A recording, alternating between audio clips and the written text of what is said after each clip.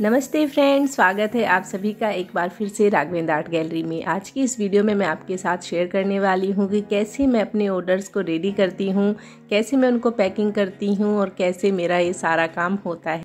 मुझे बहुत सारे फ्रेंड्स के कमेंट्स आ रहे थे कि मैं उनके साथ शेयर करूँ, कैसे मैं सब कुछ करती हूँ।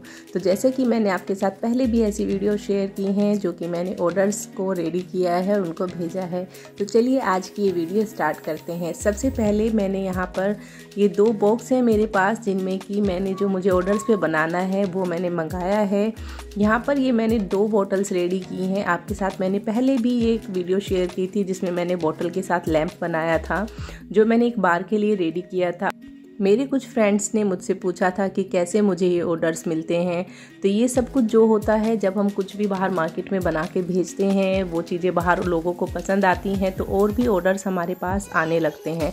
लेकिन ये बहुत स्लो प्रोसेस होता है, एकदम से सब कुछ नहीं होता, क्योंकि ज़रूरी नहीं है कि जो हम बना रहे हैं, वो सभी लोगों को पसंद आए, सभी के टेस्ट का हो। तो जैसे कि मैंने सबसे पहले बार के लिए जो लैम्प रेडी किया था, वो इस तरह के बार या रेस्टोरेंट्स के लिए एक अलग ही आइडिया था तो वो काफ़ी लोगों को काफ़ी पसंद आया। तो इसी तरह से मुझे वहीं से काफ़ी सारे ऑर्डर्स आए हैं। बहुत लोगों ने वो अपने घर के लिए भी मुझसे बनवाए हैं। आज मैं जो यहाँ पर दो बोटल्स रेडी करने जा रही हूँ, ये भी मुझे बार के लिए ही रेडी करनी है।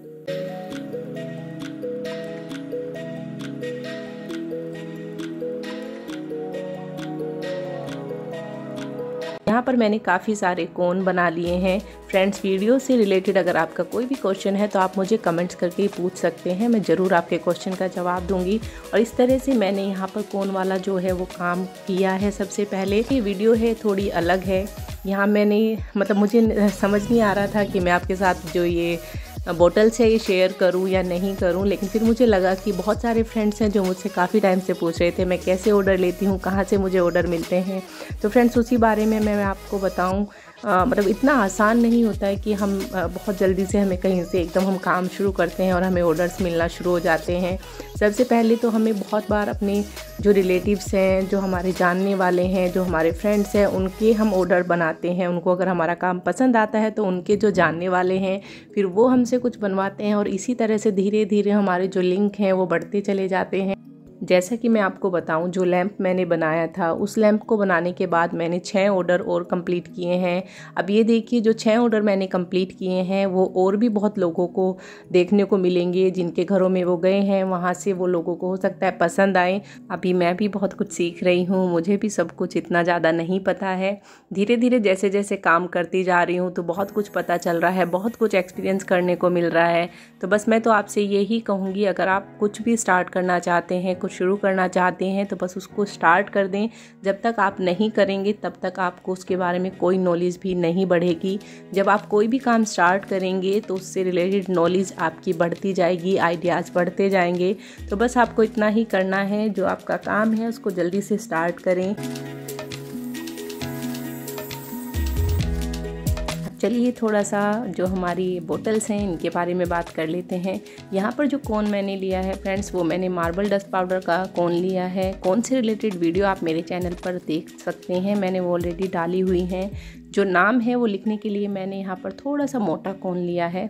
और यहाँ पर जो काम मैंने किया है, ये मुझे थोड़ा सा मतलब इतना पसंद नहीं आ रहा था तो मैंने इसको बाद में चेंज कर दिया है, जो मैं आपको दिखाऊँगी। ये देखिए, ये मैंने फिर इसमें जो ब्लैक कलर है, वो पूरा कंप्लीट कर दिया है। और अब यहाँ पर मैंने जो हमारा काम है, उसको सूखने के बाद मैंने वार्निश ली है। और वार्निश को मैंने काफ़ी अच्छे से यहाँ अप्लाई किया है। जब भी आप कुछ ऐसा बनाते हैं तो आप ध्यान रखें वार्निश आप ज़रूर लगाएँ।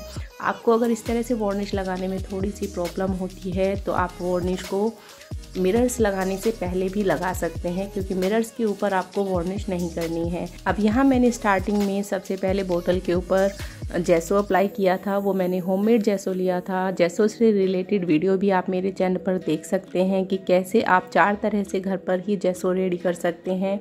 अब यहाँ पर ये देखिए, जो हमारी बोटल्स हैं, वो कंप्लीट हैं और बहुत ही सुंदर लग रही हैं। कंप्लीट होने के बाद ये दूसरे वाली बोतल है, जो मैंने बस रेडी कर दी थी। अगर यहाँ पर मैं आपको दिखाती तो वीडियो काफ़ी लंबी हो जाती। अब देखिए, अब मुझे बताइएगा ज़रूर कि इन दोनों बोटल्स में से आपको ज़्यादा अच्छी कौन सी लगी।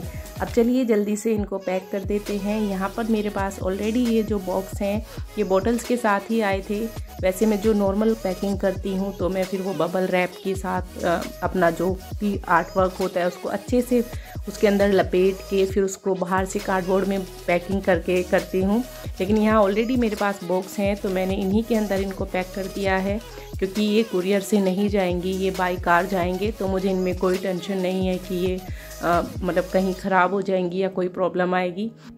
बस इसी तरह से मैं जो हमारी सारी पैकिंग है वो कर लेती हूँ।